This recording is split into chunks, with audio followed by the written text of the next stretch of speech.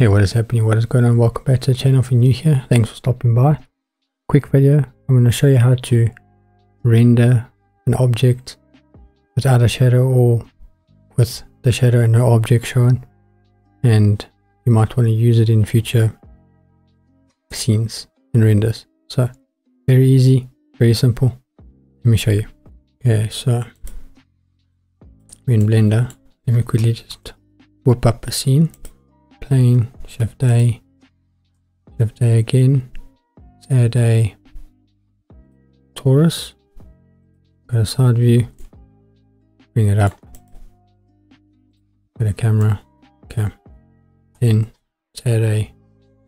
Cube, top view, G, then let's bring it up, perfect, now get in a sunlight.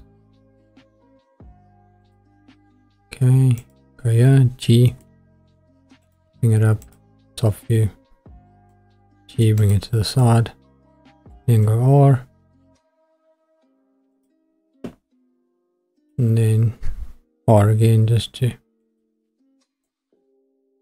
get it to something like that. Perfect. Now, again, yeah you can see we've got shadows.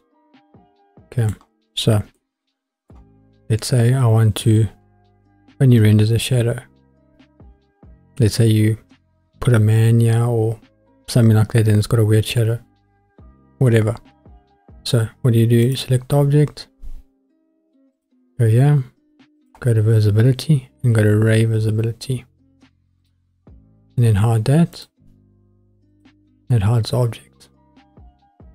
Okay, if you wanna